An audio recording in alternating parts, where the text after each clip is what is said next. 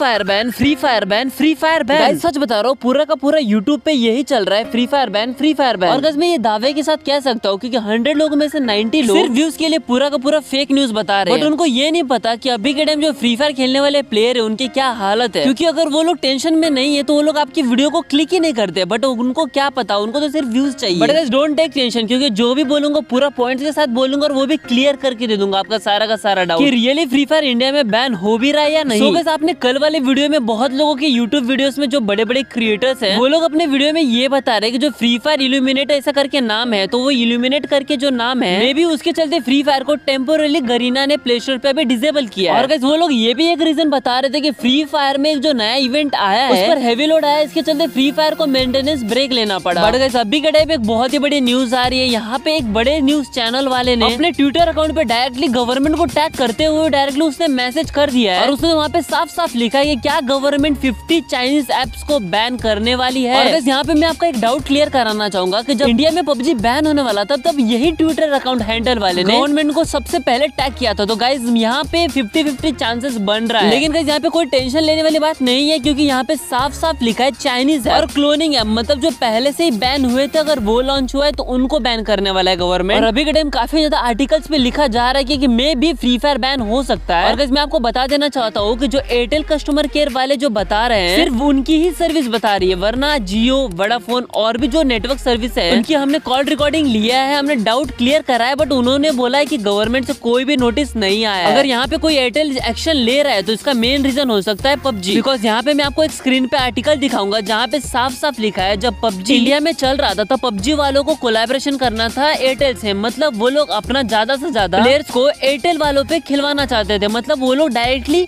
सारे प्लेयर्स को अपने एयरटेल पे शिफ्ट कराना चाहते थे। तो यहाँ पे साफ़ साफ़ दिख रहा है कि एयरटेल और पबजू वालों का तो पहले से यहाँ पे कुछ चल रहा था। और कहीं इतनी बड़ी हड़कंप हो चुकी है गरीना क्या सो रही है इस पे? लेकिन मुझे ये नहीं पता की जब मैं ये वीडियो डाल रहा हूँ तब तक शायद गरीना कुछ ऑफिशियली अनाउंसमेंट कर दे। आप सब गरीना के ऑफिशियल वेबसाइट पे चिटके रहना। होप गाइज़ मैंने आपके सारे के सारे यहाँ पे डाउट क्लियर कर दिया होगा। अगर आप लोगों से मेरे भाई में से कोई भी जिसका डाउट अभी भी बचा तो वो कमेंट कर देना क्योंकि मैं आपको ज़रूर से ज़रूर कमेंट में रिप्लाई देने वाला हूँ। तो thanks for watching bye bye take care care और see you in new video और अभी तक नहीं गए जाओ यार फुल्ली टेंशन फ्री रहो। जब तक कोई न्यूज़ आएगा तब हम लोग तो आपको है ही इन्फॉर्म करने के लिए। और सबसे लास्ट में बोलना चाहूँगा कि लाइक और चैनल को सब्सक्राइब कर देना।